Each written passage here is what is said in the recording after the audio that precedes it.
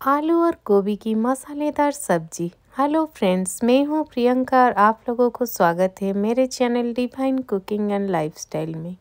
Hope आप सब बहुत अच्छे होंगे। आज मैं आप लोगों के लिए आलू और गोभी की एक मसालेदार सूखी सब्ज़ी का रेसिपी लेके आई हूँ, जो आप रोटी, पराठा या राइस के साथ साइड डिश खा सकते हो। आप लंच हो या डिनर, आप किसी भी टाइम में बनाओ आपको बहुत अच्छा लगेगा।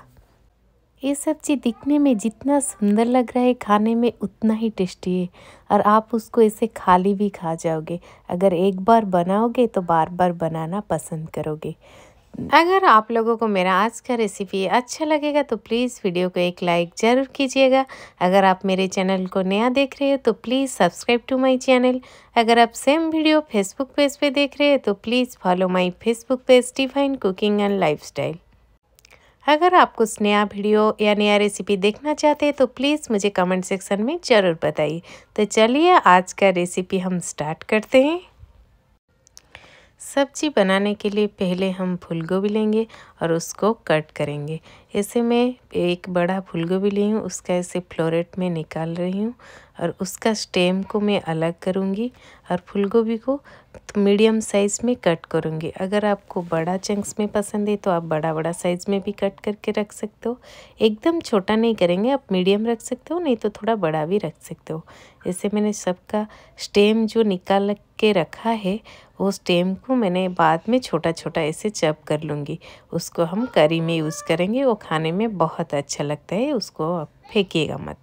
तो मैंने यहाँ एक बाउल में कुछ गर्म पानी लिया है और उसके साथ मैंने गो फूल गोभी को डाल दिया, थोड़ा हल्दी और थोड़ा नमक डाल के उसको मिक्स कर दिया। उसको दस मिनट के लिए वो गर्म पानी में हम छोड़ देंगे, फिर हम करी का प्रिपरेशन करेंगे। हम गोभी और आलू का सब्ज़ी बना रहे हैं तो हम उसमें आलू लेंगे। आपको जितना क्वांटिटी में लेना है आप ले सकते हो। मैंने यहाँ दो आलू लिया है और उसको ऐसे मैंने लंबे लंबे सेप में थोड़ा मोटा मोटा कट करी हूँ। ऐसे कट करने से ये आलू गोभी के सब्ज़ी में थोड़ा अच्छा लगता है तो मैंने ऐसे कट किया आप चाहो तो उसको स्क्वायर शेप में भी कट कर सकते हो। अभी मैंने एक बड़ा सा कढ़ाई लिया, उसको अच्छे से गर्म होने दिया और फिर मैंने थोड़ा ऑयल ऐड करूँगी two to three teaspoon oil आप कितना क्वांटिटी बना रहे हो, आप उसके हिसाब से ऐड कीजिए। और मैंने पहले गोभी ऐड कर दूँगी ऑयल ऑयल गर्म होने के बाद हम गोभी ऐड करेंगे और उसको ऑयल के साथ थोड़ा मिक्स करेंगे। फिर हम उसमें जो आलू हमने कट करके रखा है, उसको ऐड करेंगे और आलू गोभी को हम तब तक फ्राई करेंगे जैसे कि उसमें थोड़ा लाइट गोल्डन कलर आ जाए और आलू गोभी थोड़ा फ्राई हो जाए। आलू और गोभी में हम अभी थोड़ा हल्दी ऐड करेंगे और स्वाद अनुसार थोड़ा सा नमक ऐड करेंगे और उसको अच्छे से मिक्स करेंगे।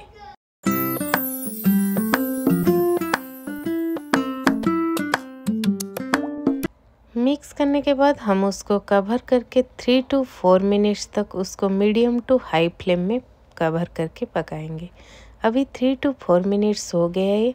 मैं यहाँ आलू और गोभी को चेक कर रही हूँ। आप देख सकते हो उसमें थोड़ा थोड़ा मैंने ऑयल थोड़ा कम ऐड किया है। तो उसमें थोड़ा थोड़ा कढ़ाई में लग रहा है। अगर आप नॉन स्टिक में बना रहे हो तो बिल्कुल भी नहीं लगेगा। इसमें भी इतना भी नहीं लगेगा। लेकिन आप देख सकते हो उसमें थोड़ा गोल्डन कलर आ गया है लाइट गोल्डन हो गया है। और आप इस सब्ज़ी में जितना ही कम ऑयल चलो डाल सकते हो, लेकिन एक सब्ज़ी बहुत अच्छे लगेगा। उसमें ज़्यादा ऑयल यूज़ करने की ज़रूरत भी नहीं है। और मैं उसको ऐसे कवर हटा के थोड़ी देर के लिए फ्राई करूँगी, फिर हम उसका मसाला प्रिपेयर करेंगे। मसाले के लिए मैंने यहाँ five to six cloves garlic लिया है, दो इंच अदरक लिया है और दो हरी मिर्च ले। आप जितना तीखा खाते हो, उसके हिसाब से ले लेना। मैंने यहाँ एक सिलबटा लिया है और उसको दस्ता, आप जो भी बोल सकते हो। और उसमें मैं ये जो जिंजर, गार्लिक और हरी मिर्च को उसमें कूट के डालूँगी। इसको कूट के डालने से उसका स्वाद बहुत अच्छा आता है। अदरक, लहसुन पेस्ट चाहो तो आप डाल सकते हो, लेकिन उससे अच्छा टेस्ट आता है अगर आप उस मसाला को उसमें कूट के ऐड करोगे। मैंने मसाला को दस्ता में कूट लिया। आप देख सकते हो, मैंने यहाँ दर दरा उसको कूट लिया है। उसको फाइन पेस्ट बनाने की ज़रूरत नहीं है, ऐसे ही उसका टेस्ट अच्छा आता है। और इधर हमारा आलू और गोभी थोड़ा गोल्डन हो गया है फ्राई हो गए हम उसको एक प्लेट में निकाल देंगे, फिर हम उसका करी प्रिपेयर करेंगे। अभी हम उसको निकाल के कढ़ाई में और टू टू थ्री टीस्पून मैंने ऑयल डाला है, उसमें थोड़ा सा हींग ऐड किया है। और उसके बाद मैं उसमें ऐड करूँगी थोड़ा सा खड़े मसाला, जैसे कि जीरा तेज पत्ता और दालचीनी आप भी डाल सकते हो। फिर मैंने दालचीनी ऐड नहीं किया है, मैं उस पर जो मसाला कूट के रखा था जो अदरक, लहसुन और हरी मिर्च का, उसको ऐड करके उसको एक दो मिनट के लिए ऐसे फ्राई करूँगी। और जब तक, जब ये इसे अच्छे से फ्राई हो जाए, उसके बाद मैंने एक बड़ा ओनियन को छोटा छोटा चॉप करके रखा था, उसको ऐड कर दिया और उसको तब तक फ्राई करूँगी जब तक ये थोड़ा गोल्ड लाइट गोल्डन कलर ना आ जाए। और मैंने यहाँ थोड़ा सॉल्ट भी ऐड किया, क्योंकि ओनियन हमारा थोड़ा जल्दी फ्राई हो जाए और थोड़ा हल्दी भी ऐड किया है। और आप नमक भी, आलू और गोभी फ्राई करने के टाइम में भी ऐड किए थे। तो उसके हिसाब से आप ऐड कीजिएगा। फिर हम करी के लिए एक मसाला प्रिपेयर करेंगे। कर्ड नॉर्मल टेम्परेचर का है। कर्ड को मैंने पहले से फ्रीज से निकल के दो तीन घंटा पहले रख दिया था। ये नॉर्मल टेम्परेचर में है क्योंकि अगर नॉर्मल टेम्परेचर में कर्ड होगा तो हम जब करी में ऐड करेंगे वो इतना ज़्यादा फटे मैंने बिल्कुल भी फटेगी नहीं। हम पहले उसको एकदम से फेंट लेंगे क्योंकि वो जो फेंट लेंगे तो उसका एक स्मूथ टेक्स्चर जैसा हो जाएगा। जब हम डालेंगे हम कर, करी में, वो बिल्कुल भी फटेगी नहीं। उस पर मैंने थोड़ा सा हल्दी ऐड किया है और थोड़ा सा लाल मिर्च ऐड करूँगी। एक टीस्पून जैसा मैंने ऐड किया है कोरिएंडर पाउडर या धनिया पाउडर ऐड किया है। आधा टीस्पून मैंने किचन किंग मसाला ऐड किया है। आपके पास जो भी करी पाउडर है, आप उसको ऐड कर सकते हो।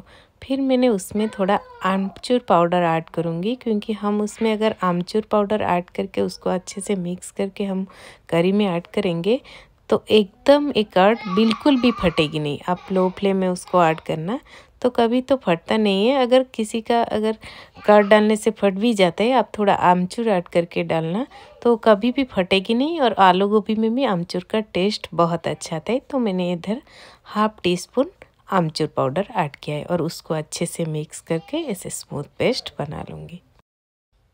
अभी हम करी चेक करेंगे। हमारा ओनियन आप देख सकते हो, इधर एकदम से ओनियन फ्राई हो गया है। हम उसमें एक टमाटर ऐड कर देंगे और उसको मिक्स करेंगे। और ये टमाटर ऐड करने के बाद मैंने जो गोभी का जो डंठल है ना, जो स्टेम है, उसको निकाल के रखा था, आप इसी स्टेज में ऐड कर देना। और उसमें थोड़ा सा नमक ऐड कर देना, क्योंकि हमने टमाटो ऐड किया है तो नमक ऐड करने से टमाटो जल्दी सफ्ट हो जाएगा। और थोड़ा सा मैंने हाफ़ टी स्पून जैसा पानी भी ऐड किया है, और उसको अच्छे से मिक्स करके कवर करके, उसको three to four minutes low to medium flame में कुक करेंगे। और थ्री टू फोर मिनट्स बाद आप देख सकते हो, टमाटो हमारा थोड़ा सॉफ्ट भी हो गया है और मसाला भी थोड़ा फ्राई हो गया है तो उसको हम अच्छे से मिक्स कर देंगे। और मिक्स करने के बाद मैंने फ्लेम को लो कर दिया है और जो कर्ड का मिक्सचर हमने बना के रखा था, उसको ऐड कर दिया है और उसको और उसको हम अच्छे से मिक्स करेंगे और थोड़ी देर के लिए उसको ऐसे एक दो मिनट के लिए उसको चलाएँगे। जब कर्ड अच्छे से मिक्स हो जाएगा, तब हम उसको कवर करके थ्री टू फोर मिनट्स के लिए हम मीडियम टू हाई फ्लेम में उसको कुक करेंगे, जब तक मसाले से ऑयल छूट ना जाए। आप इधर देख सकते हो, मसाला हमारा कुक हो गया है और मसाला से थोड़ा ऑयल दिखने लगा है।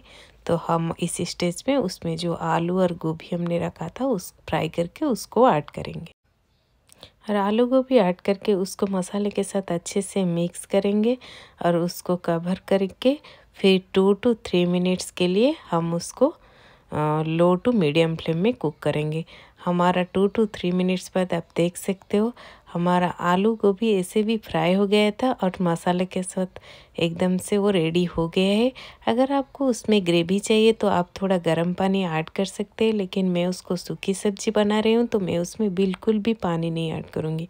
आप देख सकते हो, आलू हमारा एकदम से कुक हो गया है।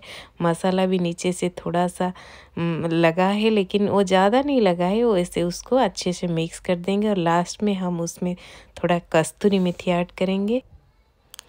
थोड़ा रोस्टेड कस्तूरी मेथी मैंने ऐड कर दिया है। फिर मैं उसमें थोड़ा सा हाफ़ टी स्पून होममेड गरम मसाला ऐड करूँगी और थोड़ा सा कटी हुई हरिया धनिया ऐड करूँगी। फिर उसको अच्छे से मिक्स करके आप रोटी, पराठा, नान राइस जिसके साथ चाहो आप सर्व कर सकते हो सबके साथ बहुत अच्छा लगता है। तो आप लोग ऐसे एक बार घर पे ज़रूर बनाइए और मुझे कमेंट सेक्शन में ज़रूर बताइए, आप लोगों को मेरा आज ये भेज सब्ज़ी या गोभी आलू की मसालेदार सब्ज़ी और गोभी आलू की ड्राई सब्ज़ी, आप जो भी चाहो बोल सकते हो, आपको कैसा लगा है तो मुझे कमेंट सेक्शन में ज़रूर बताइए। तो मिलते हैं अगले वीडियो में और एक नया रेसिपी के साथ, तब तक के लिए bye bye thanks for watching